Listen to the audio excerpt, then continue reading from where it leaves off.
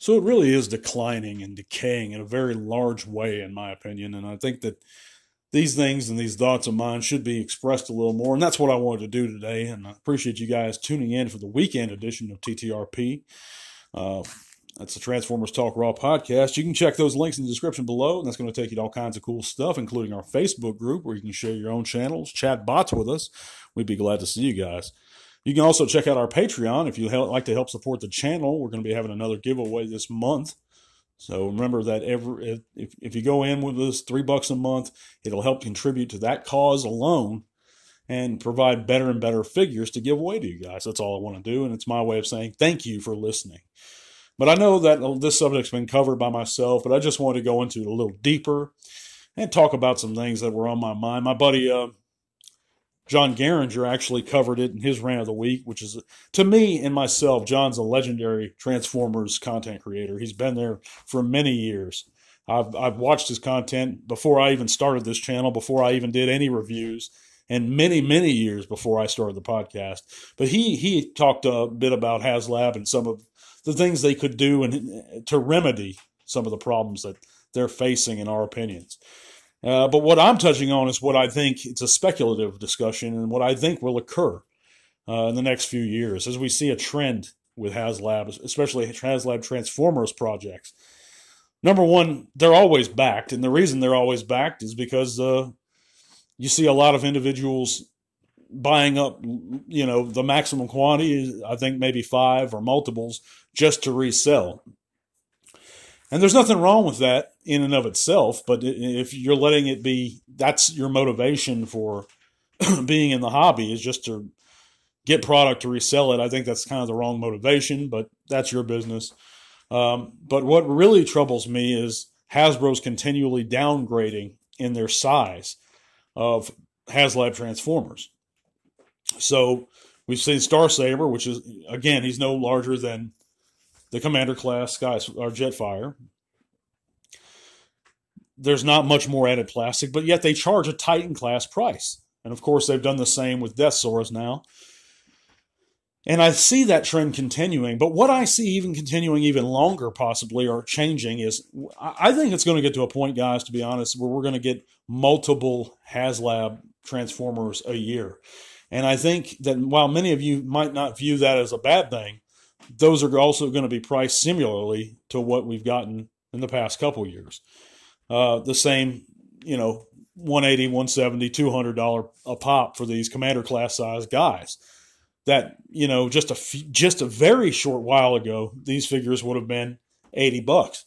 You know, so I think that uh, not only we're going to see that, we're going to see the commander class in and of itself obsolete. I mean, there's really no reason for it to continue. Uh, either it's, either it's going to go obsolete in the next couple of years, or commander class itself and all scales themselves are going to keep getting smaller. Uh, that's the only way I see it going. You know, we're going to have maybe those those combiner leaders staying at that commander class price point, while larger bots are just not there. You know, there'll be no more bots the size of Skylynx at Commander class, or even the size of Rodimus with his trailer and everything that came with it, in my opinion. Um, but you know, I, I just think it's it's poor value for the money what we're paying. You know, this the HasLab Deathsaurus and Star Saber, they're not MPs. They can't be compared to MPs, and they shouldn't be compared to MPs. I'm sure they're going to be great figures, fantastic figures, in fact. And again, it's not my intention to alienate or offend you guys. I really do respect you guys and I and I love you guys and I hope you enjoy the figures. But for what you're paying, in my opinion, you're getting uh, you're not getting your money's worth. And you know, because you could take that money and you could buy like a Black Zarak, the uh, Gen Selects Black Zarak, which is infinitely larger, infinitely much more plastic involved, infinitely a better value. Not to mention that he's an exclusive, but uh, uh, what I'm saying is a Titan sized guy. You could buy an arc for that money, you know, if you don't have him. I'm just saying you're getting, you're not getting your values worth, guys. You think because of the exclusivity of HasLab, uh, you are getting your values worth, but the reason they're so exclusive and that we have to back them is because we continually tell Hasbro by paying for this stuff That that's how we want things to be. That that's how we want uh, to purchase their products through these projects. And we say, well, they wouldn't come about unless we didn't, unless we did these things. Well, I, I just disagree. I, I, you know, there was a certain time where we never thought, you know, when Warbot Defender came out, for example, we never thought we'd see the uh, Thrilling Thirty uh, Springer, Last Stand of the Wreckers Springer. We never thought we'd see him, but boom, Hasbro, we got it. There was a time when we thought we, you know, classics and Universe when those guys first came out. We were so shocked that we had classic style G1 style Transformers again. We never thought they'd come back, but sure enough, they came back. I mean, did we ever think? I never thought I'd see a mainline Needlenose again. That's so awesome to me. So I'm not dogging Hasbro, but we keep telling them that we like this stuff. The only way we can speak to Hasbro is with our wallets. And if we stop paying for something they're going to change some things. So if we don't like something, we have to tell them and make a stand and say, and pull back those purse strings, guys. Because as long as we continually back these projects, they're going to do it more and more and more. And it's going to become, and I know at least this much is true, it's going to become more important and more a part of their general sales. And I, think they're going to push it to be that.